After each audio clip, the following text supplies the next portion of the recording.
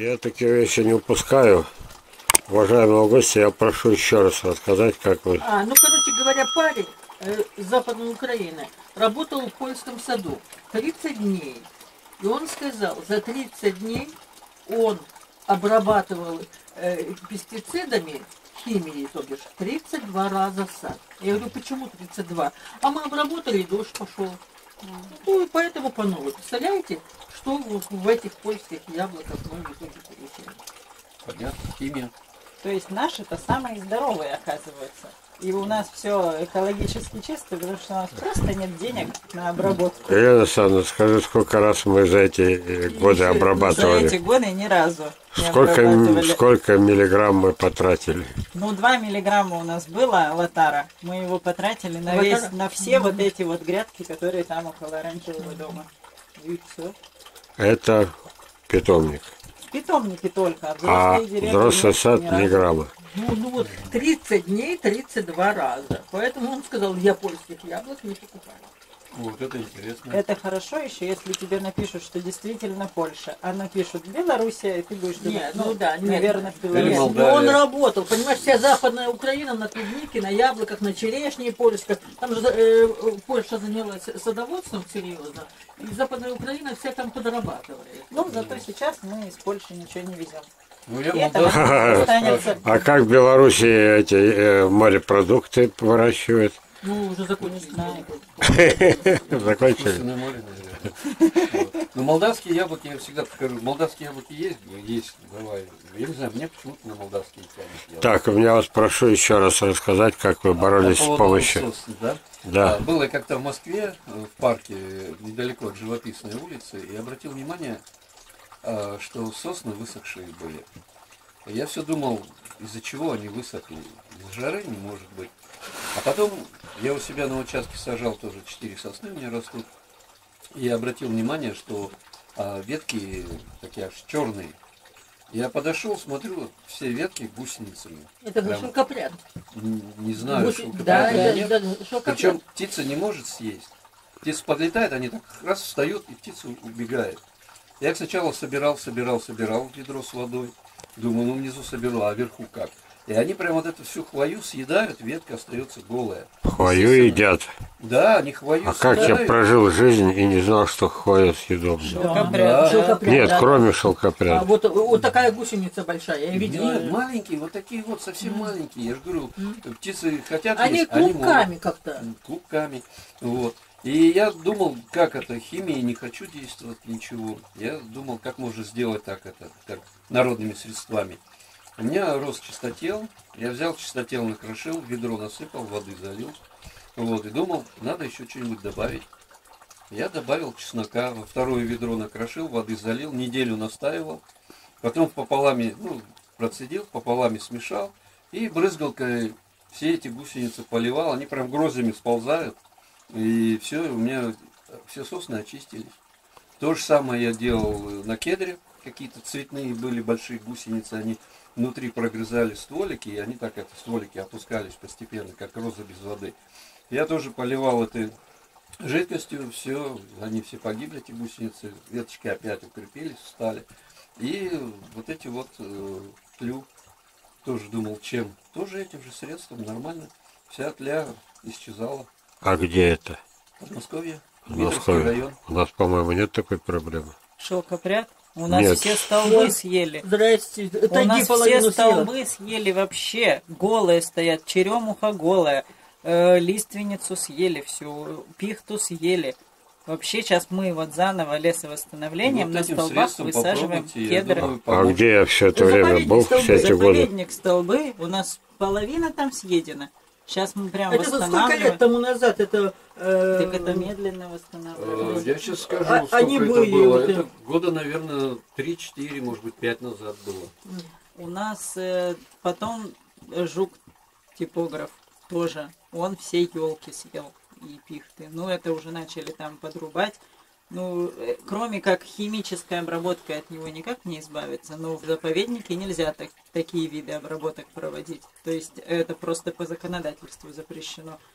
И все, вот поэтому так вот мы все время высаживаем каждый год по много кедров туда. выращиваем их с закрытой корневой и уносим в лес и там рассаживаем.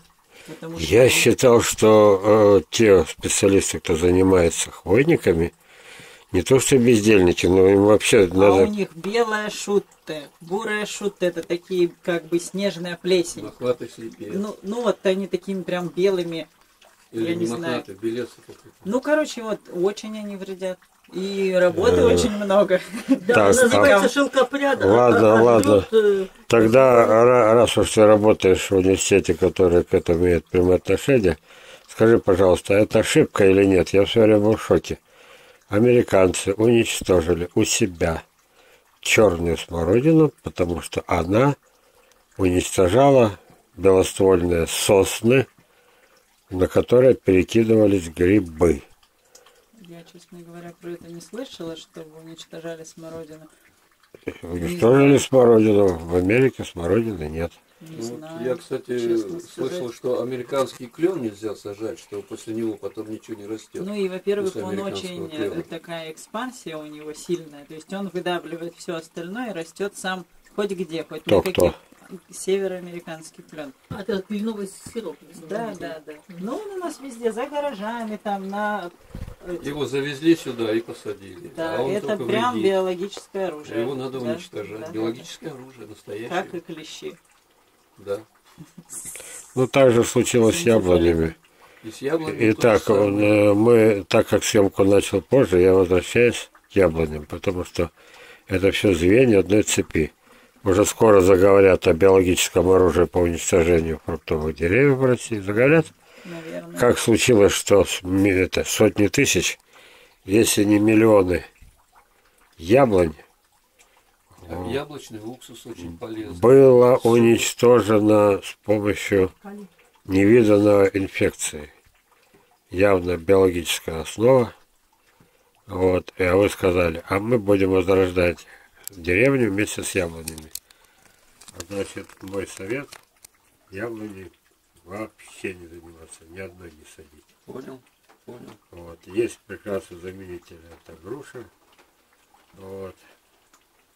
Потому Слива. что- ну, слива, конечно, это подальше. Может, слива китайская хорошо пойдет? Нет, вот все, что иностранное, оно плохое. Нет, имеется в виду Кстати, слива по уссурийская, поводу она. Яблок. Так вот, Извини, Лен, перебивай. По поводу яблок. Я однажды покупал э, в питомнике, там в Подмосковье, яблонь называется скала канадская. Я купил вот такой вот саженец, одна веточка за 80 рублей, и посадил осенью. А на следующий год дала одно яблоко. Мы его с женой, с мамой съели. На следующий год дала три яблока. На следующий год дала семь яблок. Я удивлялся, я думаю, оба она какая яблоня. Я еще от соседей вглубь участка посадил ее, пересадил. И она вот так вот каждый год по возрастающей давала яблоки. И когда вот торфяники у нас горели, она не дала ни одного яблока, когда торфяники горели. И после этого она начала болеть, кривые яблоки. А вообще такой вкус э, сочный такой, хрустящий, кисло-сладкий такой прям. Я только доволен был. Я вообще первый раз видел, чтобы яблоня давала каждый год урожай. Это вообще Просто есть сказка была. некоторые сорта, которые э, не имеют периодичности в плодоношении. Может быть. И один раз мне мама даже говорила, подставь палки под ветки, потому что столько было яблок, я даже не знал, куда их девать. А сорт скала, вы слышали про такой? Нет, вот это. Что Понятно. канадский он? Я тоже не слышала. Ну, вот, может быть, они что-то придумали, но очень вкусные яблоки. И, в общем, я веточки с нее брал, но они тоже не проросли. Я могу, конечно, тех ребят, которые у меня купили этот домик, э, у них заказать еще эти ветки. Ну, не знаю, как оно будет выглядеть. Возьмешь на себя, я закажу веточки, попробуй прорастить их. Ну, можно. Попробуй. Интересно. Мгм. Закругляемся, выключаем. Нет, пока. А, она уже моргает, да?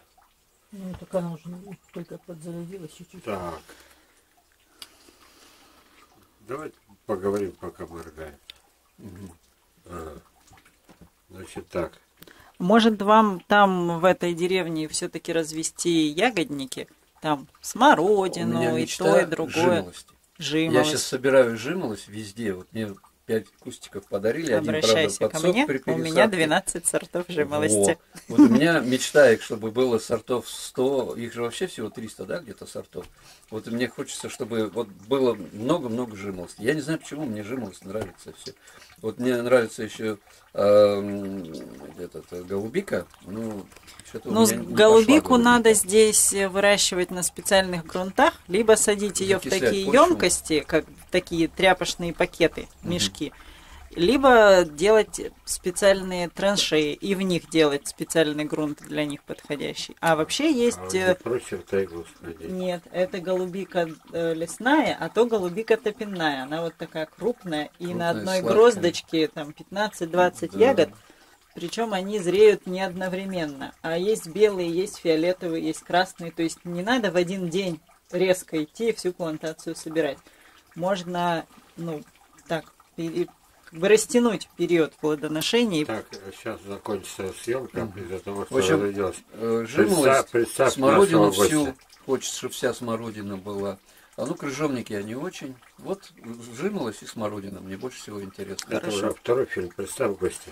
А, этого гостя зовут э, Сахаров Евгений Александрович, поселок Арбаты, Таштыбский район. Так точно. Хакасия. Хакасия. Человек хочет возродить э, деревню Воскресенко. Там совсем осталось мало жилых дворов.